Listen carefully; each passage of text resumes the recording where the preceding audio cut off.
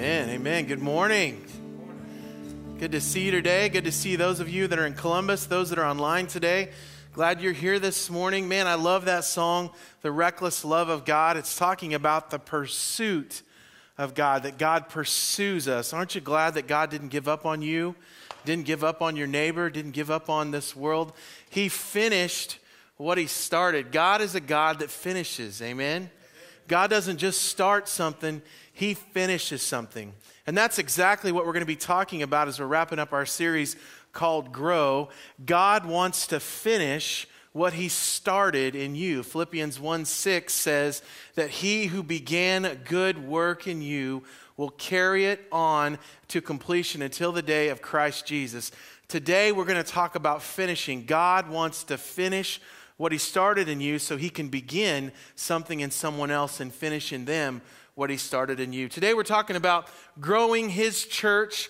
And did you know the way that God grows His church, the way that He builds His kingdom, is through people? It's through you and it's through me. In fact, if you were to think about in your life how you came to know Christ, whether it was your mom or your dad or a coach or a teacher or a friend or somebody you went to school with, all of us could point to someone who helped bring us to Jesus. That's how God builds his kingdom is through his people.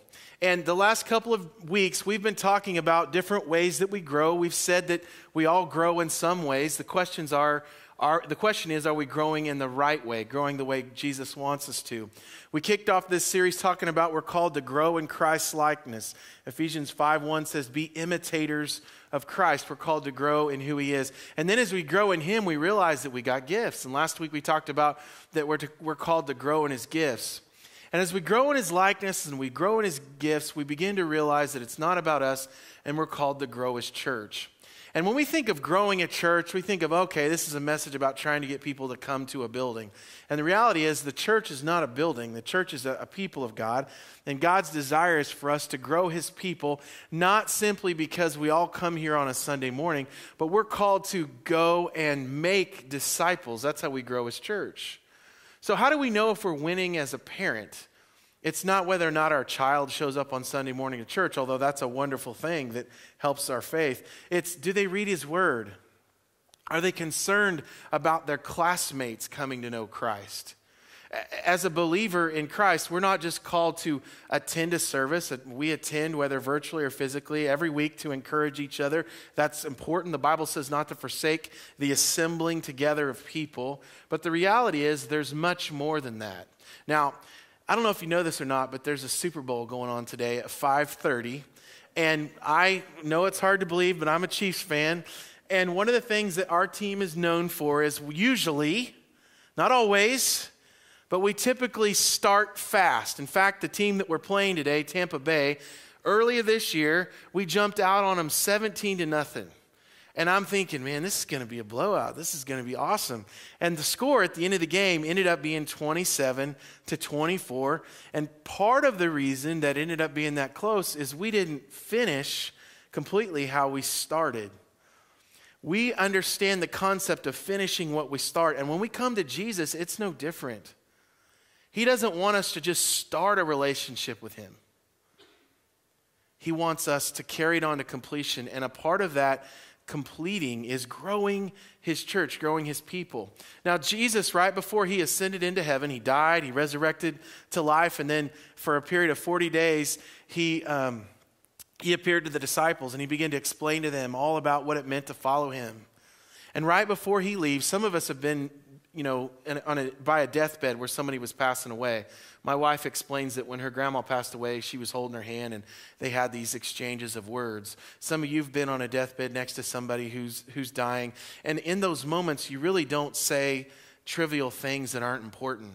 You know, if it's your last words that you're going to say, you're going to make them meaningful.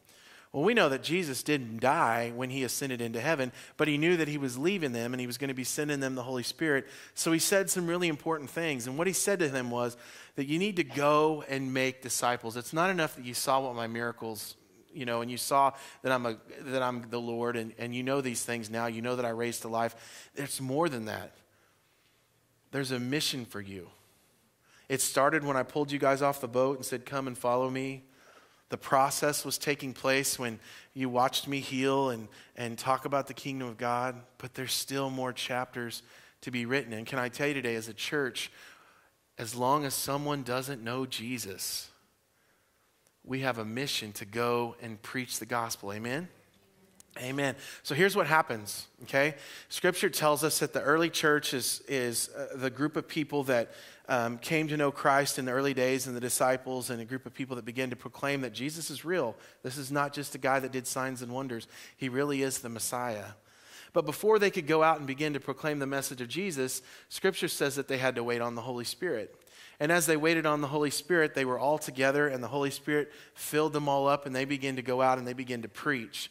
And there was a guy named Peter, and Peter, who had kind of been, he, Peter's like a lot of us, his heart's in the right place, but at times had made mistakes and denied Jesus and cut this dude's ear off. And Jesus said, No, don't lose your temper here. And he put his you know, ear back together. Peter was one of those guys whose heart was in the right place, but sometimes, you know, he could be impulsive.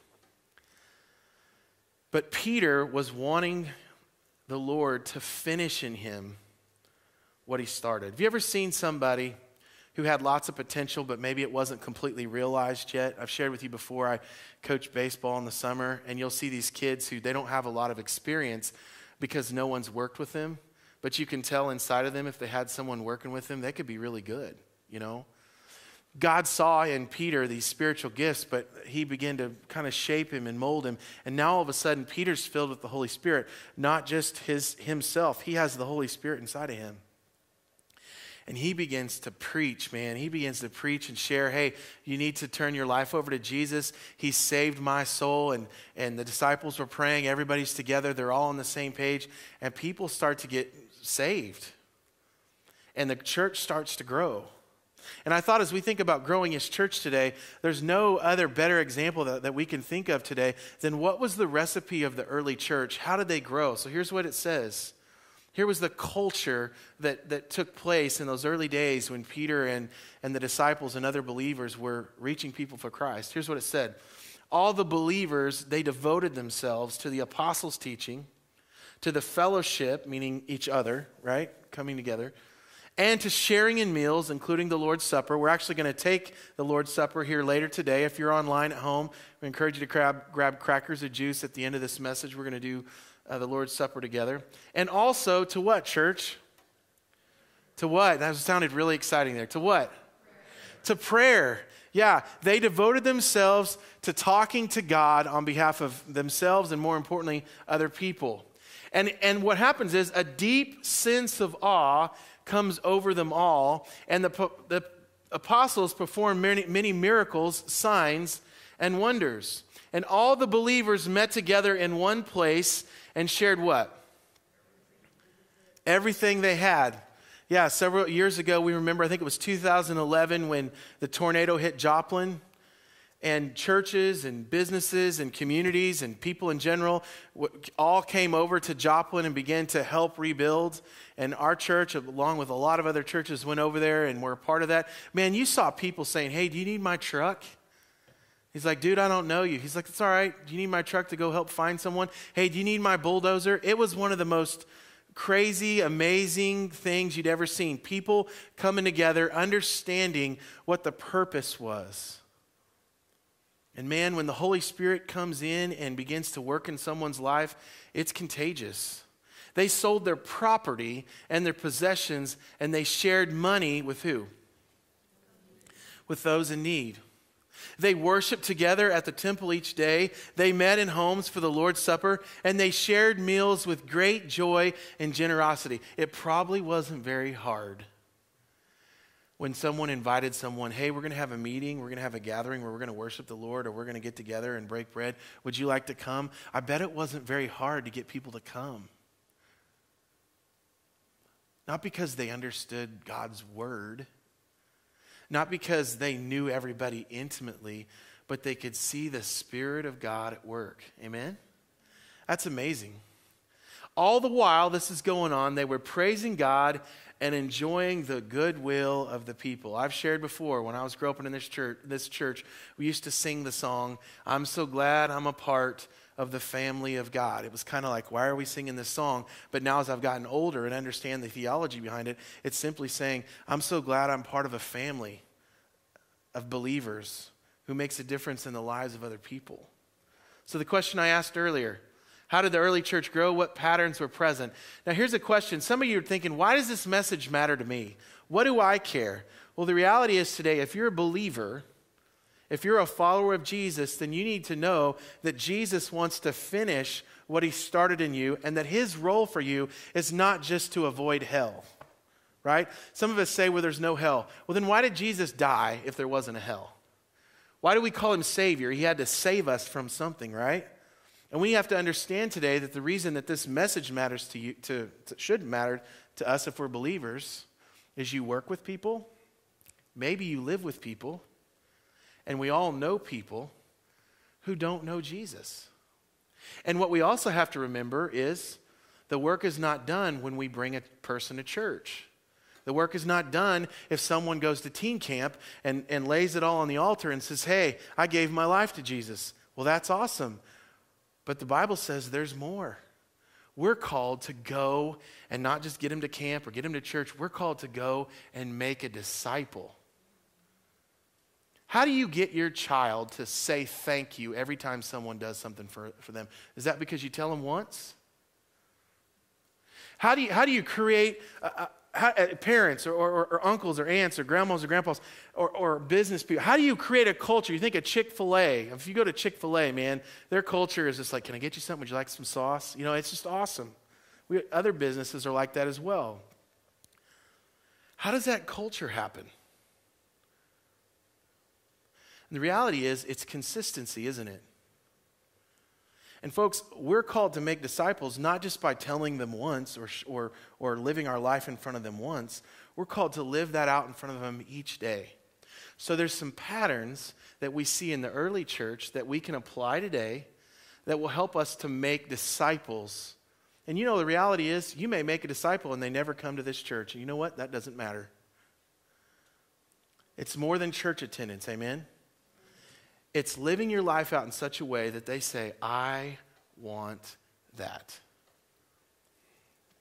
So here's the first thing we know the early church, which means when I say the early church, kind of the first generation church. In fact, whether you know it or not, Adam's humble, but Adam actually wrote a book before he came to this church called Generation One. You can actually, I think you can probably find it online. It's a bestseller in New York, right? Yeah. it's not a bestseller, but he, he did write a book called Generation One, and it's all about what we're talking today, talking about the early church. But the early church was that first generation of Christians, but even more than the early church, just Christian in general, the way that we build the church is being filled with the Holy Spirit. Let's read it. The early church was filled with. Does this say malice, sexual immorality, jealousy? No, filled with the Holy Spirit. Now, something we forget sometimes, even as believers, is that to live the life that God wants us to live, we do not have to do it in our strength. Aren't you glad? You don't want to know the old Kyle. You don't want to know the impatient old Kyle. You don't want to know him. And some of you would say the same thing. We live the life that Christ calls us to live, not in our strength, but in His strength. And we demonstrate His spirits. When you are saved, some of us already know this, but maybe some of us don't today. Maybe some of you watching online don't know this. When you ask Jesus into your heart, you are given the fruits of the Spirit that you are required to steward. Just like if someone gives you a house and requires you to steward it, right? Which steward is a, is a big fancy word for take care of. And if we if we are reading his word and we're coming to church and we're we're praying and we're talking with him, then those those fruits of the spirit, love, joy, peace, patience, kindness and so on, they grow in us. But if we're not feeding the spirit and we're feeding our sinful nature, then those fruits atrophy in us. They shrink. But here's what takes place when we come to know Jesus and we're filled with the Spirit, it manifests, it manifests itself in unique ways. Sometimes it's, it's through a forgiving spirit, sometimes it's through an inclusive spirit, sometimes it's in all these different ways. Well, it's kind of a bizarre thing to, to read about. But when initially, when the disciples and those around became filled with the Holy Spirit, they began, began to be able to speak languages that they couldn't speak. How many of you guys can speak two languages? Right? Some of you, yes, maybe three, four. The only Spanish I know is Yo quiero Taco Bell, and I know that from a, from a commercial. In fact, in fact, we have an Hispanic ministry, and sometimes they'll speak Spanish, and I'll go, Yo quiero Taco Bell. And they'll look at me like, You want Taco Bell? And I'm like, Oh, yeah, sure, yeah. so here's what happens in this story they're filled with the Holy Spirit and they start speaking in other languages because of the Holy Spirit's ability. At that time, there were devout Jews from how many nations? Every nation living in Jerusalem. Can you imagine having the ability to speak all these different languages? When they heard the loud noise, they all come running. The Holy Spirit comes in, and they're bewildered because they hear all these people speaking in languages that they can't even speak normally. They're completely amazed, and they're saying, How can this be? they exclaim. These people are all from Galilee, and yet they're hearing, they he, we hear them speaking in, let's finish it, our own native languages. Now, this is just an example, but the reality is this morning, when we know Jesus and we are, we're kind, when someone else is not kind, when we're thoughtful and considerate, and people are like, how can this be? You're not like my other girlfriend or my other boyfriend or my, or my husband or, or, my, or my wife or, or my employer. What is, what is different about you? How can this be? Here we are, and I'm not going to read it. I butchered it in the first service, so you can just see it up on the screen there. But here's a list of all the different languages of people from different world areas that had gathered together. Look at all those languages. And we hear and we all hear these people speaking in their own languages about the wonderful things God has done. Let me just tell you today love communicates, amen? People know what, who Jesus is by the way that you love people. So they stood there amazed and perplexed. What can this mean? They asked each other. But others in the crowd ridiculed them, saying, They're just drunk, that's all. I think that's just kind of a weird thing to have in Scripture. They're, they're, they're just acting different. Yeah, they're, you know, they're drunk. Sipping back on Grandpa's special sauce. No, it's the Holy Spirit, right? And here's the reality. When you when you know Jesus, people are like, what is wrong with him, man? He's talking nice. He's treating his wife nice. He's treating his you know, his employee nice. He actually works hard at his job instead of waiting to get out of there. What's what is he drunk? No, they're not drunk. The Holy Spirit produces a peculiar. I, I grew, the, grew up in this church where they always talked about peculiar, and they said it was the way you dressed, you know, no makeup, no rings, long hair, and, and, and, and all this stuff. And, and they, they kind of were misinterpreting the scripture. The reality is the peculiarity that, that, that the scripture's talking about is not in this external stuff. I mean, as we become a believer, there's things about us that might change.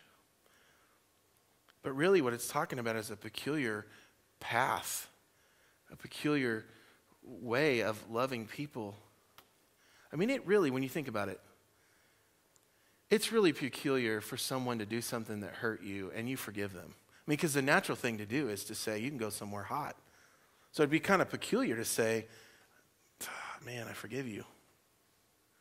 I mean, it's kind of peculiar to give away your mower to your neighbor so he because his is broke. I mean, the natural thing to do, right, from a self perspective. I mean, what does a two year old do if you take a toy away from him? Mine. Or a 30, or wait, I'm 43, or a 43 year old guy, right? But the reality is this morning that what draws, wait, wait you're going to give me that? Or you're going to let me borrow that? Or you're going to, yeah. Not because of me. I want to tell you what Jesus has done for me in my life. The early church, let's finish it was filled with the Holy Spirit. I would, I would go so far as to say you don't even have to try at growing a church or a restaurant or a business or anything else. If the culture's healthy, if people are loving each other the right way, that's, that's something people want to be around. That's not only something people want to be around, that's something that people, hey, this is what I want for my life. So the early church was filled with the Spirit. And the early church was what? Unified in, in purpose. Listen, I'm just going to tell you, I mentioned Chick fil A as an example again. All those kids and people that are working at Chick fil A, they're not nice just because they all hired these people who are just like that. I mean, they're probably a little bit that way, but it's because they all understand from leadership what the, what the bar is set at, what the culture's about. And Jesus is reminding the disciples your job wasn't to watch me take water and make it wine. Your job wasn't to, to see me take some loaves and some fish and multiply them and say, That was awesome. Your job wasn't to, to just see me be nice to this guy who cut my ear off and heal him. Your job isn't just to grieve the fact that I died or to mysteriously wonder about the fact that my body was missing from the grave. Your job isn't over when you accept me into your life. Your job isn't just to get people to church. Your job isn't just to see someone get saved. Your job until you die, this is what he said right before he ascended into heaven, is to go and make disciples. Disciples, that's what our filter is to be. So when we, what, movies we watch, the, the, the spouses that we pick, the way that we talk to people, the way that we do business with people, the way that we handle our money, and on and on and on. Every filter is about seeing people come to know Christ and grow in Christ. Why? Because that's how the church has grown. When you measure whether or not someone's sitting in a seat or not on a Sunday morning, that's not how you can measure whether a church is growing. Now, that could be a byproduct, right? But it's not the purpose. The purpose is to see disciples being made. The early church was unified in purpose. The quickest way to, to see the church atrophy is when people inside the church start making up their own purposes. I'm here to make sure that the music doesn't change. I'm here to make sure that, that everything stays the same. I'm here to make sure no one sits in my chair. If you were to ask the early church, hey, why are we here? Make disciples, make disciples, make disciples. Make sure no one takes my spot. No, no, no, no. That, that's not what it's about. Churches can become places where it's the popular thing to do, or it's just the place where we come together, kind of like a club. That's not what Jesus had, had planned for them. He said, Go and make disciples of all nations, baptizing them in the name of the Father, the Son, and the Holy Spirit. If you're a coach, you want your team to finish. You don't just start well, you finish. And in the kingdom of God, even to a greater degree, Jesus says, finish. The other thing that's kind of a side note here is that sometimes we want to create many us's. Is that a word? Many us is. Many people like us. I have three kids who are beautiful, amazing people, and the, all three of them are different. I have one of them that's a little bit more like me than the other two, but the reality is this morning, if I try to make them all like me or Wit tries to make them all like her, then we're not letting God make who they are. Does that make sense? You have people that you're going to serve with that maybe doesn't do it the way you do it. In fact, you may have a son or a daughter at home that may not understand it the way you understand it. See, we're not called to uniformity, but we are called to unity. Amen? Let's read it. Unity doesn't require unity doesn't require uniformity. We don't all have to. In fact, Scripture talks about that. It says we're the body of, the, of Christ. You've got these Enneagram tests and, and, and disc tests and, and, and spiritual gifts. You have all these things, but really what it comes down to, what it's getting across is some of us are the elbows, some of us are the knees, some of, it, of, of us are the shoulders, but one person is the head, and that's Jesus. And so we're called to appreciate each person's part in the body of Christ and to join together in understanding that we're called to, to unite together for the purpose of reaching others. Here's the last thing, okay? Now let's just be honest. Some of you don't mind sharing, some of you hate to share. Some of you don't like sharing, okay? So I'm not going to pick on those who don't like to share. How many of you like to share? Be honest, all right? Come on, be honest. How many of you like sharing your stuff? Okay, man, we got a lot of people that don't like to share. all right? The, the early church, they were unselfish with their resources. We talk about time, talent, and treasure. They were generous with their time, they were generous with their gifts, they were generous with their financial, you know, their treasures. Listen to this. And all the believers met together in one place, let's read it, and shared. Yeah. Now that's, that's weird. That creates a tension for us because I don't want you to borrow my mower, right? That's how we feel. I don't want you to take this.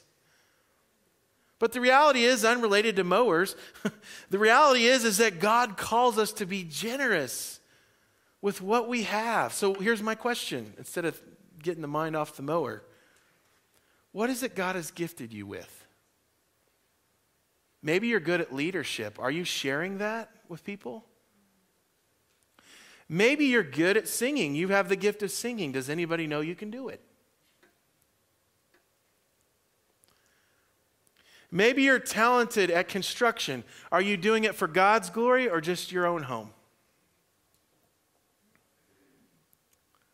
Every single one of us has something that God has given us that we are not to called to hoard and just make money and do things with our own power with. We're called to share it so that people can come to know Christ. Imagine if that was our filter. That the gifts and abilities that you have are to reach others for Jesus Christ.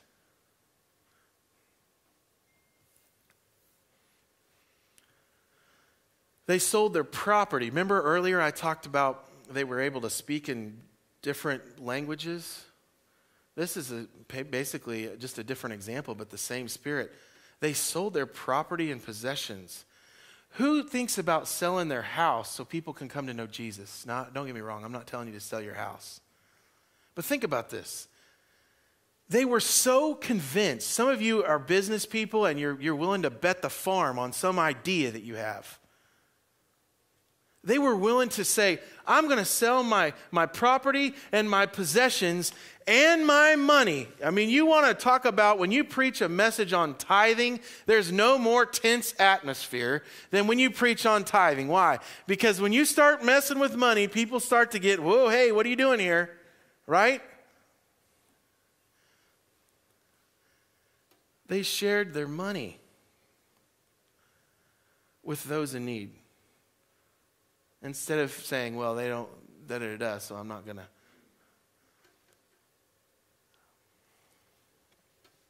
And at the same time, they worship together at the temple how often?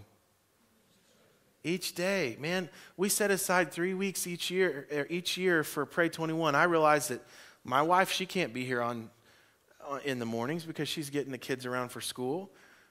But you can turn your phone on and watch in the morning. And if you can't do it then, it's on a recording. You can watch it whenever. And honestly, it's obviously it's not a once a year thing. Really, the goal of Pray 21 is to make it an emphasis, but it really needs to be a part of our day every day. Amen. So, how do we grow God's church? And why do we, why does this matter? Because there's people around you that you know that need Jesus. And when you're not letting God finish what He started in you, they're sitting over there waiting on you to let God finish what He started in you. Did you know, college students, high school students, there's people at your school that won't know Jesus unless you tell them? How are they going to know? There's people that you that you work with adults that God might want you to talk to them about Jesus and not just talk to them about, well, I got that over with. Who don't have to do that again for another 30 years. But to understand it, that you're like, hey, I'm to like get in their life and build relationship with them. And did you know it's not the pastor's job to do all of that? In fact, you know what scripture says my job is? To equip the saints to do that job. Churches that are built around the pastor doing everything, they're limited. Because take me out of it, any pastor, research says one, one person can only effectively reach 70 to 100 people. It takes all of us, amen? It takes every one of us having a burden saying, Well, Monday stinks, can't wait till Friday, instead of saying, Lord, who do you have in my life today that I could be salt and light to? TGIF. I don't think TGIF is biblical because the Bible says this is the day. This is, oh, I won't sing it, I won't, you know. They devoted themselves to the apostles' teaching. Why? Because the apostles hadn't written, written the, the Bible yet, right? But so we know it today as biblical teaching, okay? They devoted themselves to biblical teaching. What does that mean? You think of devoted, all right? Let me tell you, my wife has lots of strength. My wife is devoted to our family. I mean, she is devoted. She is about making sure. Can you imagine if we were that devoted to God's word? Devoted. We've had a couple in our church that were married like 60 some years, maybe even longer than that. They were devoted to each other. Marriage is about devotion. Can you imagine being that devoted to God's word, even above your marriage, above everything, to be devoted to God and, and, and like, God, what does your word say? Now, this one seems like kind of not as important in our culture today. And it's suffering right now. I'm just going to be honest with COVID. But the reality is, we were created to be together. They devoted themselves to fellowship with who? With who? With other believers. Why? Because ideally, right? Some churches, it's unhealthy and there's backbiting and talking. I'm not talking about that. But in a healthy situation, where, where people understand the purpose, that it's not about being uniformed, but about unity. They understand that there is something that happens when we sharpen each other. Because believe it or not, sometimes I come to church and I'm down. And sometimes you come to church and you're down. And you see someone and you're like, oh man, this happened this week. And you're like, can I pray with you? There's something that happens. You know why that, that this was listed as one of the things in Scripture and Acts? Is because we're better together. And that's not just a slogan you say at some leadership conference where you're trying to market something. It's the truth. We're better together. Amen? In fact, when you see scripture where Jesus sends out people, he sent them out in twos. When we planted that church in Columbus, we, we sent out two Sean and Matt at that time. We didn't just send Sean. Why? Because we need each other. They devoted themselves to sharing meals together. Well, that seems kind of weird that that would be that big of a deal? Man, I look back, I've been to this church since I was 10 years old. I left for about 10 years and came back. The amount of lunch lunches I've had at the mall deli with Pastor Jim, who happens to be in this service, and many of you here, and many in the other service, that have sharpened me and helped me and politely told me, you know, this isn't what you should do. You should do this. You know, there's something about coming together. Pastor Adam is always trying to get people in small groups. Why? To annoy you? No. Because groups is where you grow. Instead of sitting here listening to me, you sit and you talk in a group of people who have similar experiences in life and you sharpen each other. Some groups turn into gossip sessions. That's not what that's about, right? It, it's about sharpening each other. They devoted themselves to, to meals together and the Lord's Supper. Why did they devote themselves to the Lord's Supper? To remember. Some of you have lost someone special to you, and every year on that anniversary, and some of it's fresh, some of you it's fresh, you pull out their pictures. Why? To remember. It's important to you. Why do we take communion as a church? To remember what Christ has done for us. To remember. Why do we need to remember? Because we forget. I mean, we don't completely forget. I don't forget that Jesus died for me, but it's not always at the top of my brain all the time, the way it should be. When we read His Word, when we take communion, when we come together, it helps us remember. And then, of course, an obvious one. They devoted themselves to prayer with God, the culture, the atmosphere. You think when Peter got up and, and preached, no one had been praying? You think when, when Stephen was martyred and all these different people, if you study scripture, who went th- through things, do you think when the walls came down, do you think when, when the chains fell off and Peter walked out of the prison that somebody wasn't praying? Can I tell you, prayer changes things. Now we erased their names, but there was there was names on these boards this last year that had a line through them. Why? Because they came to know Christ. And you know what, Adam? I thought of this earlier today. We all start with our name on the prodigal board. I was born, we are born with our name on that board. And when you let God finish what He started in you, you become active. You want to talk about growing your faith? It's not another small group class, it's not reading more, it's getting involved in, in, in trying to get someone's name erased through the power of the Holy Spirit.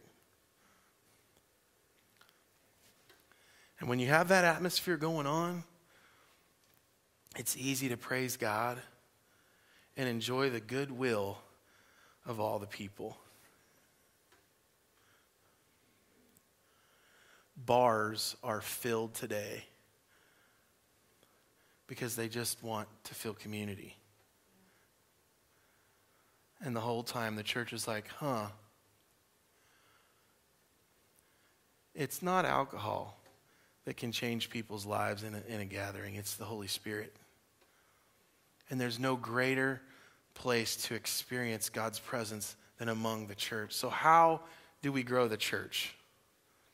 This is what it said. If you're just reading scripture and you were studying the tendencies of what made the early church grow, let's read those, that list biblical teaching, fellowship with believers, sharing, and and this is the byproduct of those things. Let's read it. And each day the Lord added to their fellowship those. There you go.